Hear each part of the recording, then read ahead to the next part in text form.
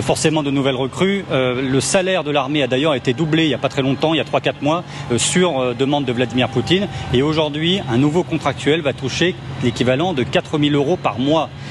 pour remettre un petit peu les choses dans leur, dans leur contexte, en Russie, le salaire moyen aussi entre 700 et 800 euros par mois. Donc vous voyez. Imaginez, imaginez si Emmanuel Macron avait fait un geste comme ça pour les Gilets jaunes. Commentez, likez, partagez pour me soutenir et soutenir la chaîne. Sans plus tarder, nous passons à la vidéo. Jérôme Garot, vous êtes donc avec nous pour qu'on comprenne bien tout ce qui s'est dit sur ce décret qui entrera en vigueur le 1er décembre, euh, qui nous dit que l'armée devra comprendre 2 390 000 membres et on l'a vu euh, s'afficher sur l'écran 1 500 000 soldats. On inclut qui, euh, Jérôme, dans ces 1 500 000 soldats? Oui, en fait, euh, hier, en réalité, ce sont deux chiffres qui ont été annoncés. Ce premier chiffre de 2 millions, quasiment 400 000, 400 000 hommes. Mais là, ce, sont toutes les forces armées de Russie euh, qui comprennent le ministère de la Défense, donc euh, aussi l'administration, vous voyez. Tandis que 1 million et demi, là, on parle de purs militaires, de purs soldats. Alors, c'est un chiffre qui est en constante augmentation. déjà en 2022, c'était à peu près 1 million 100 000 hommes. 2023, 1 million 300 000 hommes. Et maintenant, 1 million 500 000 hommes.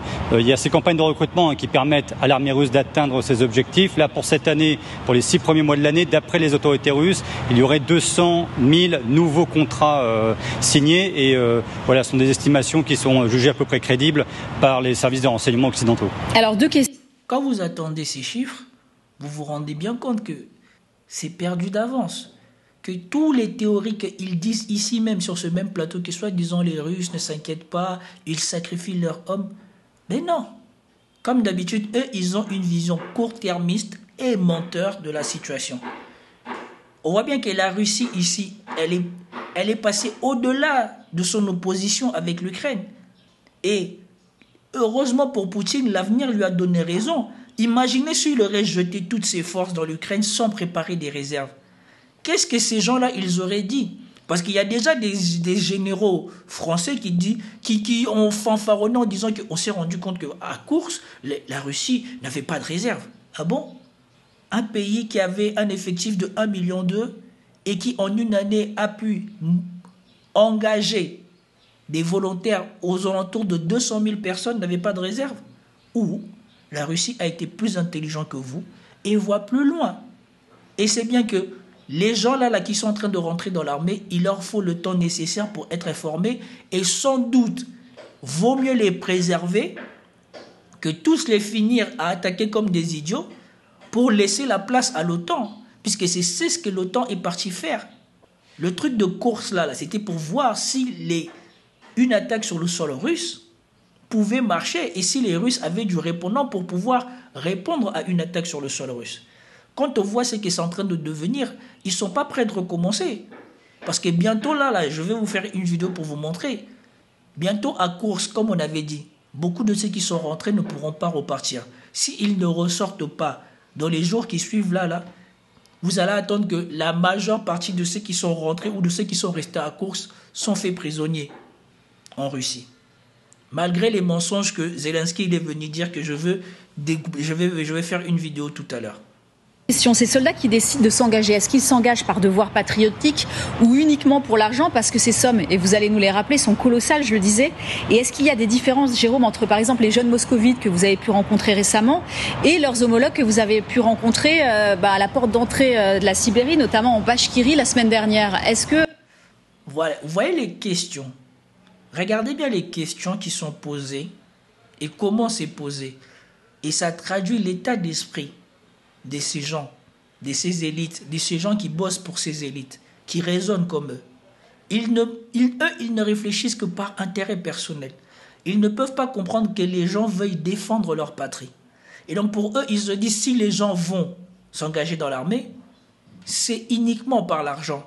Et comme eux, ils vivent dans un pays de caste, dans un pays de privilégiés, où on privilégie d'abord ceux qui sont proches du pouvoir et ceux qui sont soumis au pouvoir, Regardez ce qu'elle dit. Elle dit est-ce que on offre les mêmes primes d'entrée aux gens de Moscou que aux gens qui sont ailleurs? Si tu veux la cohésion de l'armée, est-ce que c'est comme ça que tu vas recruter des gens? En offrant plus à certains privilégiés et moins aux plus pauvres. Et donc, en faisant rentrer dans l'armée l'idée que vous n'êtes pas égaux, il y a des vies qui sont plus chères que d'autres ici. Ça, c'est la conception que eux, ils ont, parce que maintenant, c'est ça, c'est comme ça que fonctionne leur société. Les bourgeois et ceux qui profitent du pouvoir de la bourgeoisie pensent que eux sont plus méritants que tout le reste des Français et qu'ils sacrifient. Ça, c'est ma vision. Si vous n'êtes pas d'accord, dites la vôtre. Il y a deux avis qui diffèrent là. Oui, alors je dirais qu'il y a un mélange de plusieurs facteurs. C'est évident que ces primes, ces salaires, euh, c'est quelque chose d'universel. Hein. L'argent attire euh, forcément de nouvelles recrues. Euh, le salaire de l'armée a d'ailleurs été doublé il n'y a pas très longtemps, il y a 3-4 mois, sur demande de Vladimir Poutine. Et aujourd'hui, un nouveau contractuel va toucher l'équivalent de 4000 euros par mois. pour remettre un petit peu les choses dans leur, dans leur contexte, en Russie, le salaire moyen aussi entre 700 et 800 euros par mois. Donc vous voyez. Imaginez, imaginez si Emmanuel Macron avait fait un geste comme ça pour les Gilets jaunes, imaginez si Emmanuel Macron avait fait un geste comme ça pour les médecins. Imaginez si Emmanuel Macron avait fait un geste comme ça pour les aides-soignants. Imaginez. Mais en France, particulièrement en France, il n'y a de gestes que pour les plus puissants. Pour les plus pauvres, comme Michel Barnier a dit, on ne fera pas de miracle. Il n'y a pas d'argent magique. Et je vous rappelle qu'on disait qu'il n'y a pas d'argent magique avant le Covid. Et pendant le Covid, on a vu l'argent magique comme on n'en a jamais vu avant. L'argent magique pour aider les gens à bien vivre et à bien consommer, il n'y en avait pas.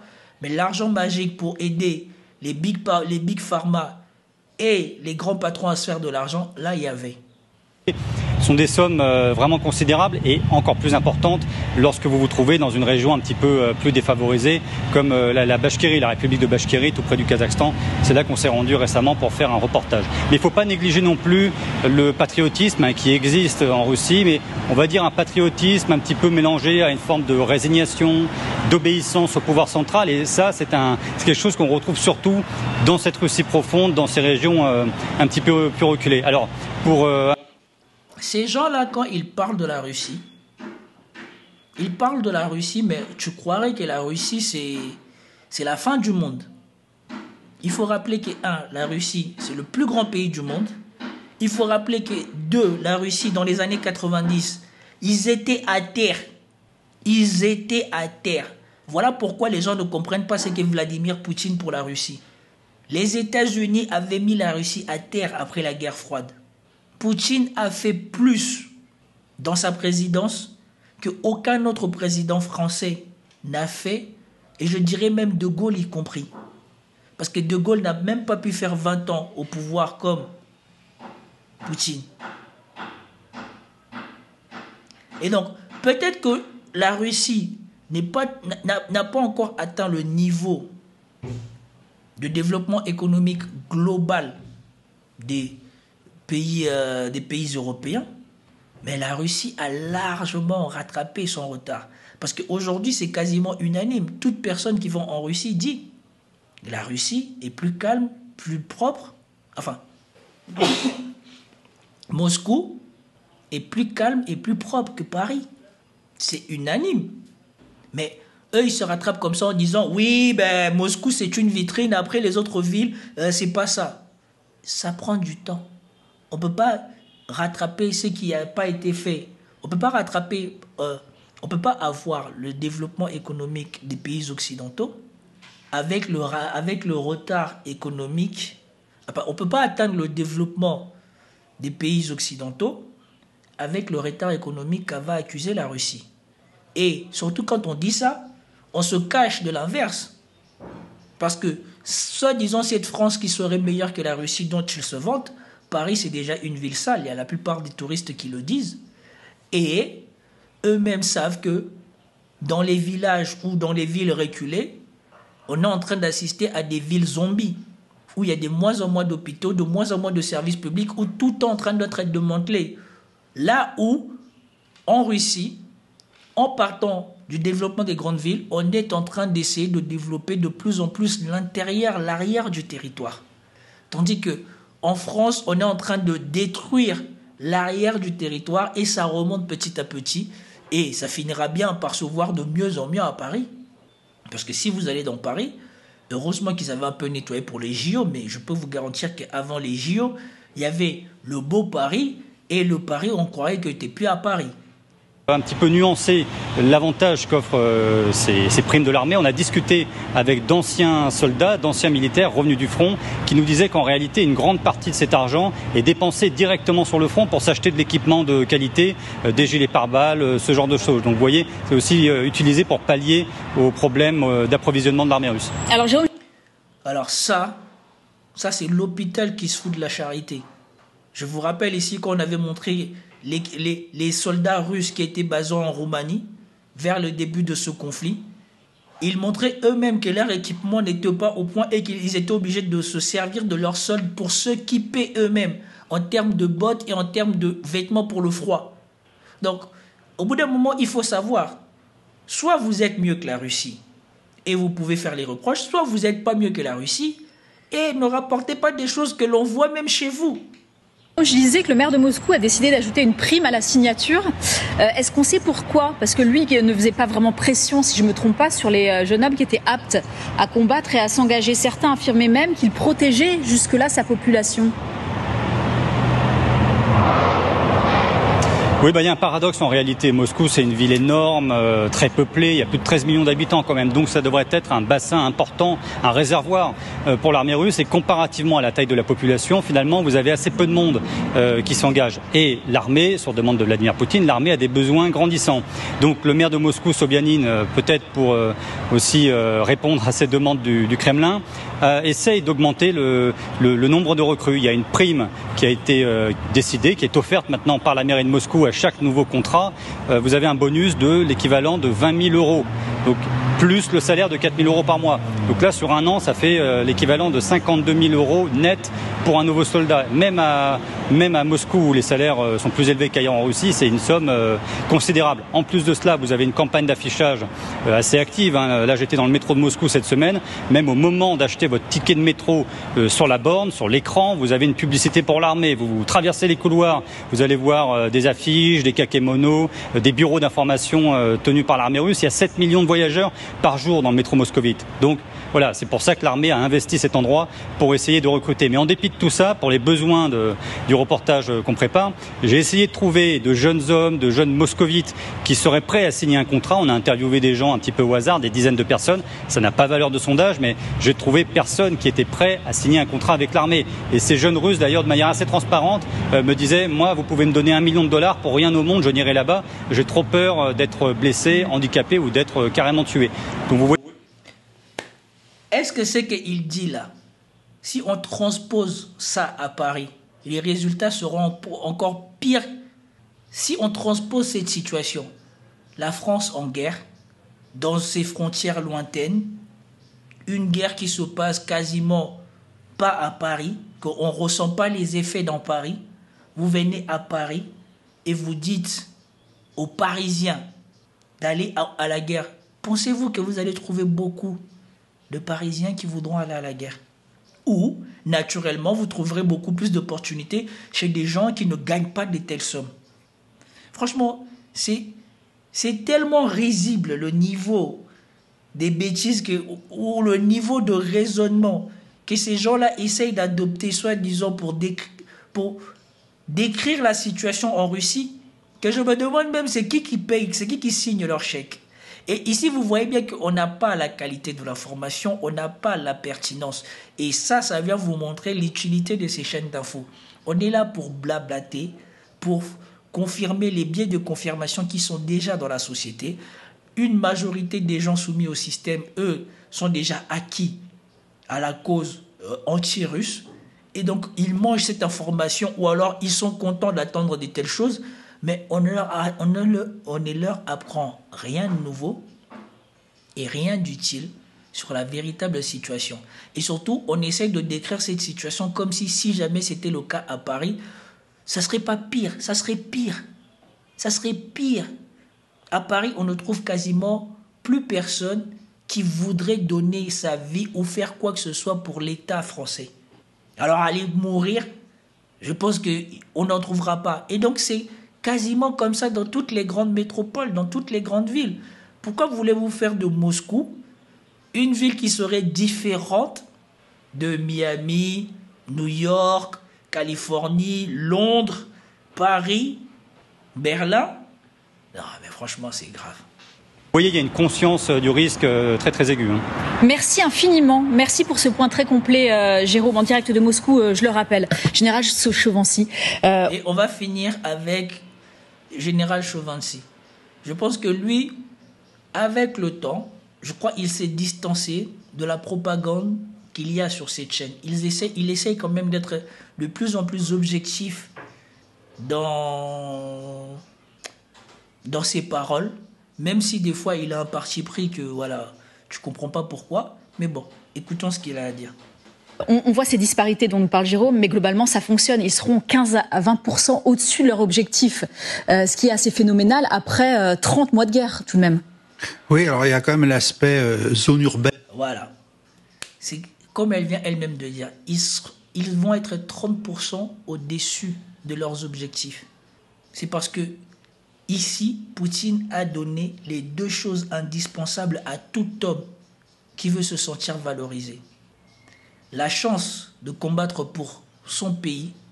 Deux, la reconnaissance et la rémunération nécessaire de le faire. Parce que c'est une prise de risque énorme. Et il faut bien que ça rapporte. Imaginez si vous ne gagnez jamais rien, votre vie ne sert à rien. Et on vous dit, si tu vas au combat pour ta patrie, pour qu'il n'arrive rien à tes enfants, tu vas gagner 50 000 dollars d'un coup. Dans un pays, je ne sais pas c'est quoi le niveau économique de la Russie, que, ta famille va pouvoir obtenir autant d'argent qu'un cadre de la banque ou de je ne sais pas quoi. Pensez-vous que beaucoup de soldats de l'armée française eux-mêmes n'iraient pas combattre en Russie avec des telles rémunérations? Urbaine et, et zone non urbaine. En fait, mm. c'est l'éternelle question euh, de, Moscou qui résiste encore. Mais dans beaucoup d'autres pays, hein, euh, les urbains euh, ne veulent pas vraiment. Ils ont appris ce que c'est que la vie assez facile, euh, loin de la guerre. Bon, il y a un problème psychologique sans aucun doute. Alors que dans les campagnes, finalement, vous avez attendu. Même pas besoin que moi je le dise. Il le confirme. Ce qui se passe à Moscou se, se passe partout. Les gens, les urbains qui vivent la vie facile ne voient aucun intérêt à aller sacrifier leur vie, même pour leur patrie. Les urbains qui sont prêts à faire ça sont des urbains qui ont une autre conscience, une autre perception des choses. Mais la majorité des autres là, là, non. Ils voudront pas donner leur vie. Euh, les personnes sont beaucoup plus rustiques. Euh, ça ne veut pas dire qu'elles soient débiles. Hein. Elles sont rustiques. Euh, elles sont, elles sont peut-être aussi dans des situations de pauvreté plus exacerbées que dans les villes. quand vous voyez tous les reportages qu'on nous a présentés justement sur l'intérieur de la Russie, quand on voit les villages, je pense que c'était la France de 1944-1945. Mm. voilà, donc on a quand même cet aspect-là. Bon, maintenant, l'attirance effectivement pour aller faire la guerre. Euh, il est certain que la solde est importante, et elle est même faramineuse quand on regarde bien. Et puis on comprend Jusqu'à 5 à 6 fois, hein, Jérôme le disait, 5 à 6 fois le, salaire moyen russe. Voilà, donc. de 700-800 euros. Et puis c'est surtout, ça, ça, évite de mobiliser, parce que finalement il y a comme des besoins humains importants.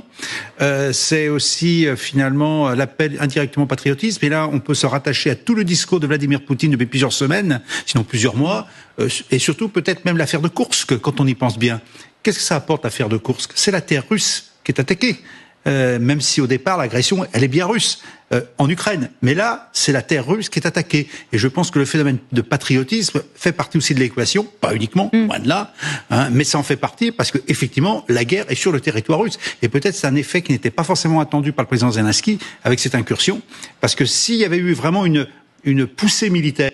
Et voilà, on vous dit, les Occidentaux toujours dans leur arrogance, à croire qu'eux, ils connaissent mieux les choses que les gens, ils ont amené, non seulement ils avaient déjà emmené l'Ukraine dans un bourbier en l'encourageant à s'opposer à la Russie pour foutre la paix aux gens du Donbass, on l'a ramené dans une confrontation avec Poutine où il aurait pu signer la paix. On lui a dit de ne pas signer la paix, qu'il allait gagner. Maintenant qu'il se fait taper, on l'a encore fait passer un palier, va rentrer en Russie. Et maintenant, bon nombre des hommes en Russie, parce qu'en Russie, ceux qui veulent la paix, ce sont les jeunes et les femmes, mais les hommes russes comme l'avait révélé Carolina Galacteros, je crois, en Russie, les hommes sont ceux qui veulent que on en, finisse avec l'Ukraine, parce que l'Ukraine est rentrée à Kursk. Et donc, si vous prenez le patriotisme plus le fait que le patriotisme sera bien rémunéré, ça donne ça. Et moi, je me demande bien qu'est-ce que l'Ukraine pourrait faire en face pour obtenir de tels résultats, puisqu'on sait qu'il y a déjà rébellion contre les officiers qui veulent les enrôler de force. Vous avez vu dans le bureau russe, le mec il est assis, il parle tranquillement. Ça contraste avec tous les vidéos où on voit les Ukrainiens essayer d'embarquer les gens de force avec une vraie victoire militaire, c'est-à-dire pas uniquement se cantonner à une zone où on est circonscrit, mais par exemple vraiment menacer la ville de Kursk. Euh, là, euh, ça aurait été un peu différent. Mais là, on est dans une situation où finalement euh, l'effet psychologique a été, à mon avis, négatif et a, a, finalement incité un certain nombre de Russes, bon pas tous bien entendu, à se dire mais on est attaqué. Euh, et puis le discours de Vladimir Poutine, ça correspond à cela. C'est l'OTAN qui nous agresse, c'est les pays occidentaux, c'est l'Ukraine. Bon, l'Ukraine n'existe pas. Donc beaucoup de paramètres qui font euh, finalement que la, euh, une partie de la population est réceptif, réceptive à, cette, à ces arguments et que le discours de Vladimir Poutine est quand même bien amené et finit par amener des troupes nouvelles, des soldats nouveaux, puisque quand on nous parle effectivement, moi je suis un peu interpellé par le, les effectifs, hein, les effectifs totaux finalement, il a... Vous attendez, il a interpellé parce que l'effectif total de l'armée russe va faire, je crois, dix fois, dix fois ou huit fois l'effectif de l'armée française. Donc, euh, c'est pour cela qu'il est, il, est, il est abasourdi. La France qui fait la bouche, qui fait la bouche, en combat de haute intensité, ça sera fini. En une semaine, ça sera fini, la France est prise à peine 50% de militaires, ou peut-être ou peut 60. 1 500 000 sur 2 390 000. Où sont, que font les autres euh, Parce que est-ce que c'est l'industrie d'armement qui est concernée? Euh, On n'en sait rien. Mais effectivement, comme l'a rappelé Jérôme Garot, on passe de 1 million 100 000 hommes qui étaient prévus avant, de, enfin qui existaient avant 2022, c'est ce qu'on avait estimé dans tous les revues spécialisées. Euh, on monte quand même à 2 300 000 hommes de plus, mais dedans on oublie les pertes parce que finalement c'est aussi un recomplètement de toutes les pertes qui ont eu lieu depuis maintenant deux ans et demi. Alors combien on n'en sait rien, mais mettons on va. Pierre Servant avait des estimations, hein, 600 000 de chaque côté euh, morts ou tués euh, la semaine dernière. Maintenant qu'ils ne peuvent plus cacher les morts ukrainiens, maintenant ça devient oui, s'il y a 600 000 Ukrainiens qui sont morts, c'est qu'il y a aussi 600 000 Russes qui sont morts. Alors qu'on vous dit que ces rapports-là doivent être pris en compte par rapport au rapport de feu et on sait que du côté russe, eux, depuis le début, ils respectent leur doctrine. C'est artillerie, artillerie. Eux, ils ont voulu nous faire croire que nous, on ne fait pas de l'artillerie, on fait de l'arme de précision. Mais au bout du compte, ils sont revenus à la réalité. C'est l'artillerie qui compte. Et on sait qu'au niveau de l'artillerie, ils ont largement été surpassés par les Russes. Et donc, comment est-ce qu'en étant largement été surpassés par les Russes par la, en artillerie, la Russie compterait le même nombre de morts que l'Ukraine? Surtout que l'Ukraine a fait une offensive qui a été laminée. Laminée. Mort ou blessé, pardon. Euh, vous mettez un quart de tués. Vous mettez un quart de tués. ça fait quand même plus de 120 000 hommes. Euh, c'est quand même pas mal. Donc le recomplètement, on est juste dans le recomplètement. Alors maintenant, effectivement, la ressource démographique russe va peut-être peser désormais euh, sur le sort de la campagne. Alors, en tout cas, je vais arrêter cette vidéo ici. Je voulais juste vous montrer comment on essaye, ou quels sont les raisonnements de ces gens-là de l'Occident par rapport à un leader qui se soucie de sa population, qui demande à sa population de défendre son pays, de défendre leur territoire et qui récompense les gens à la juste valeur de ce sacrifice. Parce que le mot sacrifice n'existe quasiment plus pour ces Occidentaux-là aujourd'hui. Ils ne considèrent pas que le sacrifice que les plus pauvres ou les plus faibles peuvent faire pour leur État comme quelque chose qui doit être rémunéré à sa hauteur. Par contre, tous ces zinzins inutiles qui gagnent de l'argent sur le dos des Français, eux par contre, on ne doit pas les embêter. Ils aident les Français en prenant l'argent de leur poche, comme a révélé David Giraud avec l'argent de la TVA française. C'était tout pour cette vidéo, j'espère que vous avez apprécié. Si vous avez apprécié, commentez, likez, partagez, je vous dis à plus tard. Peace out.